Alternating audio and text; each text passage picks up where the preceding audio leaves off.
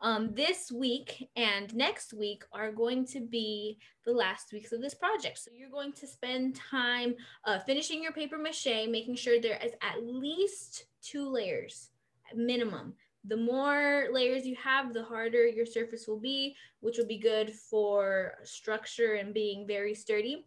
Um, so you want to finish your paper mache, and then you also want to start and finish your painting for your volcano. So make sure you um, you get to do that as well.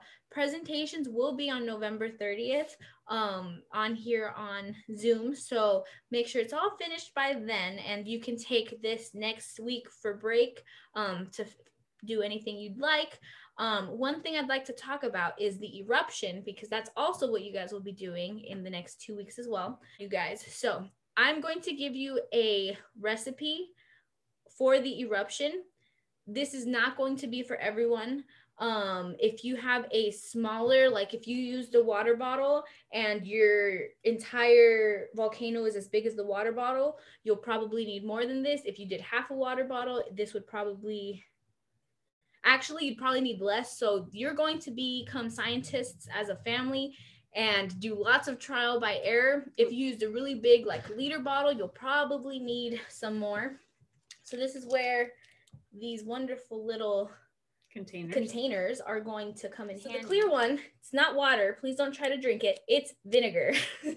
Uh, the one with white powder in it is baking soda. And, and then this orangey red one is soap you can go back to this recipe, but really just kind of make it your own. Um, it's going to be anywhere from three to six tablespoons of um, baking, baking soda. soda. Sorry, I forgot what it was called. Baking soda. Um, and then if you want it to be extra foamy, you would use more baking soda. Uh, two ounces of paint, which is you can put as much as you want and you can use this paint or any paint that you'd like but you want it to be liquid paint um, a teaspoon of dish soap. So whatever measurement you end up doing for the baking soda, um, you're gonna put less uh, dish soap because it will get bubbly. Unless you want it to get really bubbly, then you can experiment with that and see how much you'd like to put. And then for this specific uh, recipe, it calls for one whole cup of vinegar. So you're going to be using a lot more vinegar than baking soda or dish soap. So keep that in mind when you're making it. Um, but you're going to have to have fun and try depending on the size of your volcano well. Um, also keep in mind when you're doing your eruption, you might want to do it closer to the date of our presentations just because vinegar doesn't always smell the best. an option for your presentation is if you want to try the eruption for that you can but um, please use flipgrid if you want to do it before because we really really really want to see your yes. eruptions. And thank you for those of you that put your uh, lava lamps on flipgrid already. So um, that's pretty much what we have left for the volcano this is your time to just be super creative, have lots of fun, and have fun experimenting. Again, this is just stuff to get you started. Um, we got all of this stuff from the Dollar Tree. So if even if you were you were able to do an eruption with this and you want to do it again, yeah, go ahead, get more baking soda, more vinegar, more soap, more paint, maybe do different colors. See what you want to do with mixing colors. Yep. The sky's the limit. And most of these things can be found in your family's pantry. Just make sure you ask first. Definitely. And yeah, that's that's about it for the eruption. All right, let's get on up. We should make this one louder. yes, we're gonna make this one super loud. We've got a little fun song for you guys today. I'm excited about If it hadn't been for Cotton Eye Joe, I'd been married a long time ago. Where did you come from? Where did you go?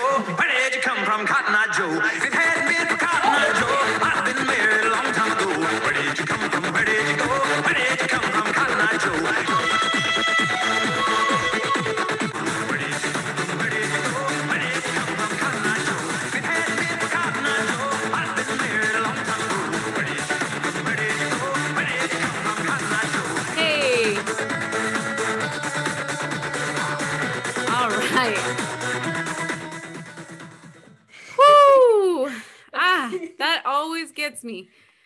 Right. So next we're going to talk about our mini project, our official mini project for this week.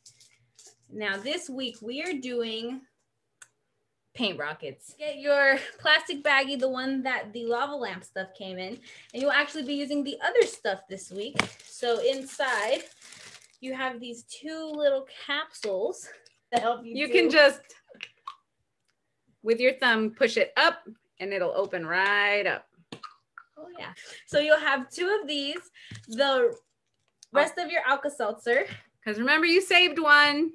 and then whatever color paint you want. So we- have we gave you paint that you can use as well, and water. You will also need water.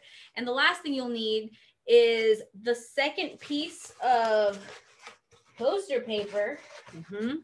that we gave you. Um, it, I think it was bundled in. It was either bundled in with the other color that you used for. It was separate. It was separate. Just Mhm. kidding. It was separate.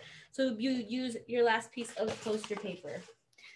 You'll want to flatten this out actually. So I'd open this first and flatten it out. Like, I would even give it a whole day and stack some books on it.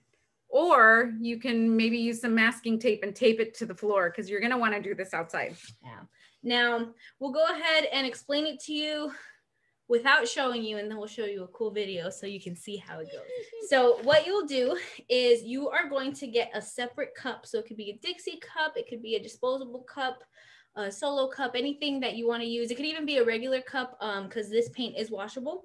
And you are going to mix the paint and the water together um, so that it's a paint water mixture. And you're going to do two parts paint, one part water. If you're going to use one cup, that and that's your one part, then two parts would be two cups. If you're going to use one tablespoon, that's one part, and two parts would be two tablespoons. So you can use whatever measurement you want to use, but one part means one of those, two parts means two of those. Now, for this, you probably won't need a cup of paint and two cups of water or however much.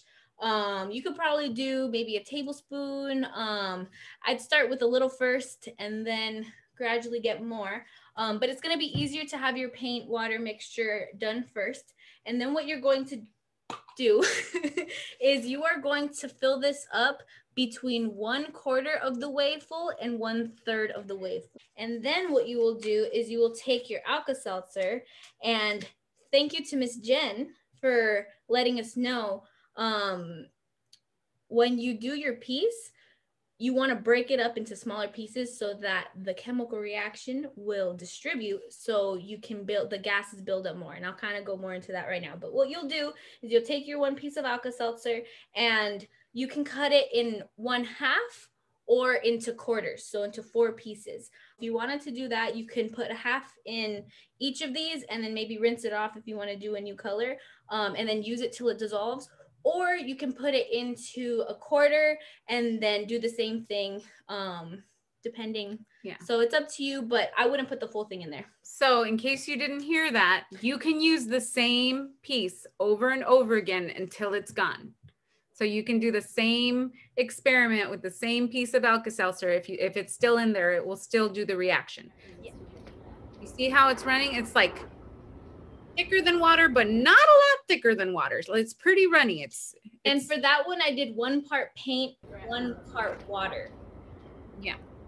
so you can do a little bit more paint if you don't want it to be that liquid and you'll see why the, uh, it being too liquidy when we show you what uh, how it explodes you'll see the type of explosion at the bottom um, more paint means it's a little bit more it's a little bit thicker um, so it might splatter in a different way We're gonna show you guys what Miss Cora discovered with Miss Sarah today. this was my first time doing it and i absolutely loved it Put it the tablet, put the top on, turn it upside down.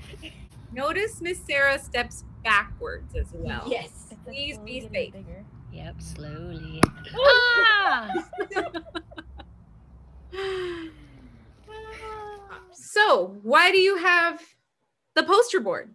Because that's where you're going to do your art. That is your launching pad. So, you're going to place your canister maybe in different spots and see what the explosion does to different parts. And you're maybe you try to create something. Maybe you have a plan. Maybe you're just a free spirit and you want to see what happens when you when it explodes. It all depends on your style and how you want the experiment to go. So just remember, make sure it's really closed. Make sure you put it upside down because if you put it this way, the explosion will pop the cap off, but it won't go anywhere. There won't be a rocket. It'll just go. pff.